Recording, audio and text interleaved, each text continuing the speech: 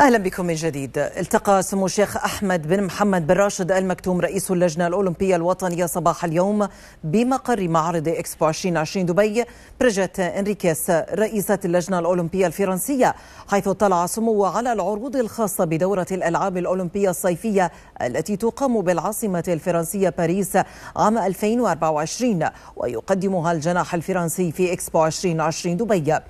وخلال الجولة قدم القيمون على الجناح الفرنسي لسمو الشيخ أحمد بن محمد بن راشد آل مكتوم لمحة عن الخطوات المتخذة من اللجنة المنظمة للألعاب الأولمبية باريس 2024